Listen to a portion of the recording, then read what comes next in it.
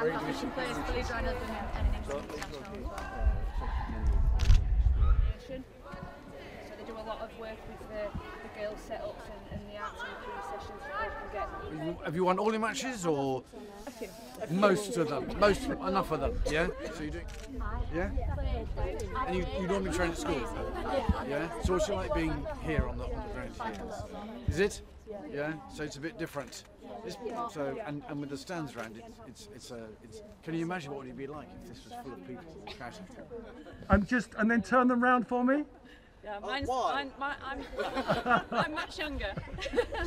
Even even I know there aren't that many people in a on the field.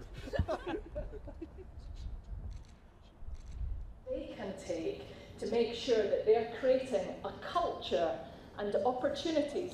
But I just wanted to congratulate all, all, all the winners, everybody, um, in, in all that, that you've done, and all our finalists. Um, it's, it's just, every year we come and do this, I think we can't possibly find any more inspirational groups out there.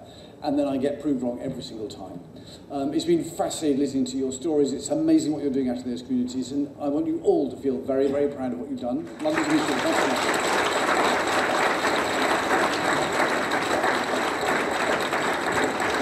So,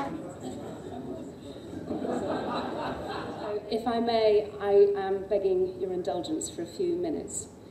Because I also wanted to take this opportunity to recognise another great milestone and share a small tribute to my darling husband as he celebrates his 60th birthday this Sunday.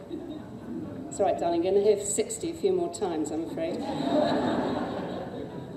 like my father-in-law, my husband never seeks compliments for himself. So when acknowledgement has come his way, it has always been a total surprise to him, which is why I am grateful for this chance to, for once, be able to publicly celebrate and compliment him.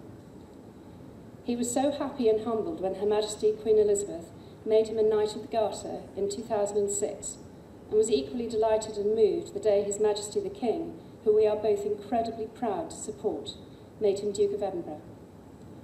Both he deserves in equal measure, and I am so proud of the man he is. He is the best of fathers, the most loving of husbands, and is still my best friend.